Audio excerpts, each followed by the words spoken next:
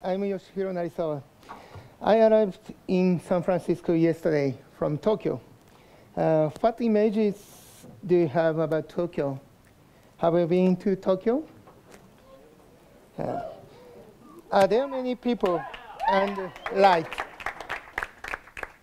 So, sushi, tempura, and anime, and or fashion. So uh, Tokyo is full of many kinds of things. I love Tokyo, Japan. Tokyo is a mixture of modern, high building, and green. By the way, I'm chef.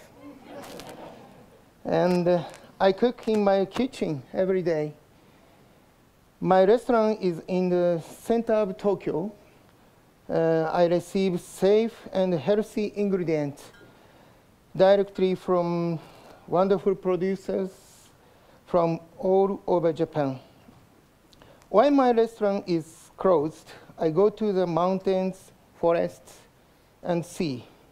I often visit the uh, producers and talk with them. I love Tokyo, I love Japan, but I'm a bit worried. Tokyo and the countryside of Japan are totally different.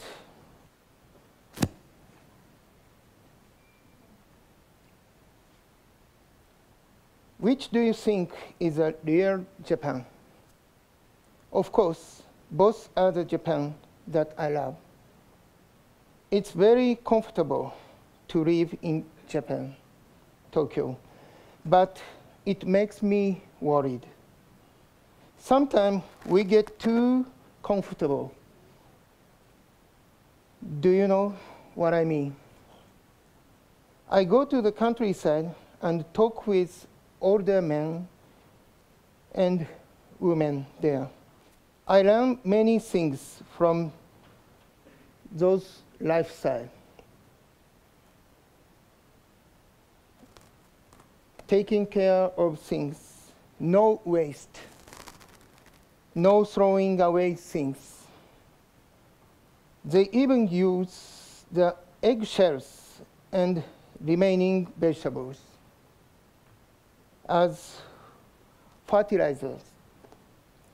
The rest of the dinner is cooked for breakfast in different and beautiful ways. This is the beauty of Japan. And it is the fantastic Japanese original life. Clean, speedy, and convenient life. Two different aspects of Japan. I think the fusion of those two aspects makes Japan more special. Of course, the good part of them. As a chef, I'd like to send this message to people through my dishes. Of course, cooking tasty food. Everyone like yummy food, right? you want to be healthy, right? You want to live long, right? Of course.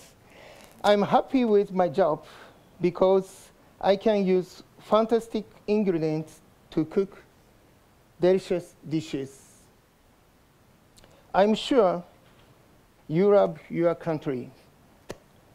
Each country has many good ideas, sides, the countryside and the city side.